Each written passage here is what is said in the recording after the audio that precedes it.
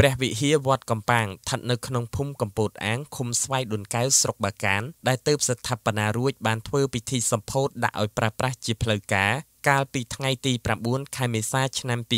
2019ក្រោមអធិបតីភាពអាដាមស៊ុយសែមរដ្ឋមន្ត្រីក្រសួងរាយនឹងធម្មពលនិងលោកជំទាវលោកផៃលេងអភិបាលស្រុកបាកានបានជម្រាបជូនថាវត្តកំប៉ាងនេះបានកកើតឡើងនៅឆ្នាំ1935មកដល់ពេលនេះមានអាយុកាល84ឆ្នាំនិងឆ្លងកាត់ព្រះចៅអធិការវត្តចំនួន8អង្គមកហើយត្រឹមឆ្នាំ1967កសាងបានព្រះវិហារកុដិពីរខ្នង និងសាលាបាលីប៉ុន្តែជាអកុសលសមិទ្ធផលទាំងអស់នោះត្រូវបានបំផ្លាញទាំងស្រុងក្នុងរបបប៉ុលពតមិនខុសពីវត្តដទៃទៀតនោះទេ ពួកថ្មិលឥតសាសនាបានប្រែក្លាយវត្តអារាម ជាទីគោរពសក្ការៈរបស់ពុទ្ធបរិស័ទទៅជាកន្លែងធ្វើជីលិមួកគោទៅវិញក្រោយថ្ងៃរំដោះ7មករាឆ្នាំ1979មកដល់ឆ្នាំ2010 ក្រោមការគ្រប់គ្រងរបស់ព្រះចៅអធិការវត្តជាបន្តបន្ទាប់កសាងបានកុដិឈើ2ខ្នងកុដិថ្ម1ខ្នងសាលាឆាន់អាងទឹកផ្ទះបាយខ្លោងទ្វារនិងបង្គន់អនាម័យ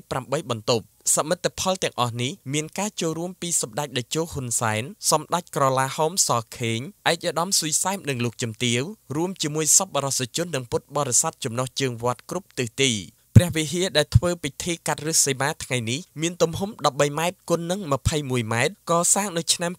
2011បញ្ចប់នៅឆ្នាំ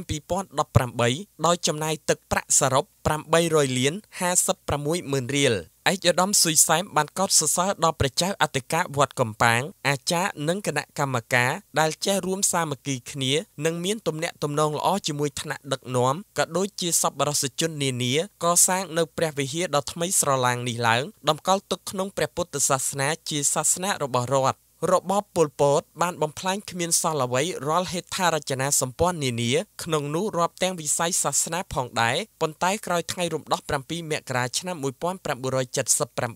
អ្វីអ្វីបានកើតឡើងវិញទាំងអស់ក្រោមការដឹកនាំដ៏ឈ្លាសវៃរបស់សម្ដេចតេជោហ៊ុនសែននាយករដ្ឋមន្ត្រីនៃព្រះរាជាណាចក្រកម្ពុជា ការកសាងប្រើរយៈពេលយូរណាស់ប៉ុន្តែបើបំផ្លាញវិញគឺតែមួយពព្រិចភ្នែកប៉ុណ្ណោះដូច្នេះសូមបងប្អូនរួមគ្នាថែរក្សាសន្តិភាពឲ្យបានគង់វង្សជារៀងរហូតកុំជឿការញុះញង់របស់ក្រុមមួយក្តាប់តូចដែលប៉ុនប៉ងផ្ដួលរំលំរាជរដ្ឋាភិបាលនោះរាជរដ្ឋាភិបាលបានដាក់ចេញនូវអភិក្រមចំនួន5ដល់មន្ត្រីរាជការអនុវត្តគឺមួយទឹកដោះក្អែលឆ្លុះកញ្ចក់ព្យាបាលវះកាត់និងថែមបាវចនាពីរទៀតគឺកែតម្រង់ស៊ីជម្រៅនិងកសាងមិត្តខាងក្រៅដោយថែរក្សាស្មារតីឯករាជ្យមិនយកប្រទេសណាធ្វើជាសត្រូវឡើយ ឯកឧត្តមសូមឲ្យលោកយាយលោកតា និងបងប្អូនប្រជាពលរដ្ឋរួមសាមគ្គីគ្នា ជាខ្មែរតែមួយថែរក្សាវប្បធម៌ជាតិនិងត្រូវមើលឲ្យឃើញថា អ្នកណាបានធ្វើអ្វីជាប្រយោជន៍ដល់បងប្អូន និងប្រទេសជាតិនិងអ្នកណានាំឲ្យប្រទេសជាតិអន្តរាយក្នុងឱកាសនោះឯកឧត្តមស៊ុយសែមនិងលោកជំទាវបានប្រគេនថវិកា10លានរៀលចូលរួមកសាងវត្តកំប៉ាងជូនទិសសីមាកណ្ដាល1លានរៀលទិសទាំង8មួយទិស40ម៉ឺនរៀលនិងយាយតា100នាក់ម្នាក់ក្រណាត់សមួយដុំថវិកា10000រៀលផងដែរ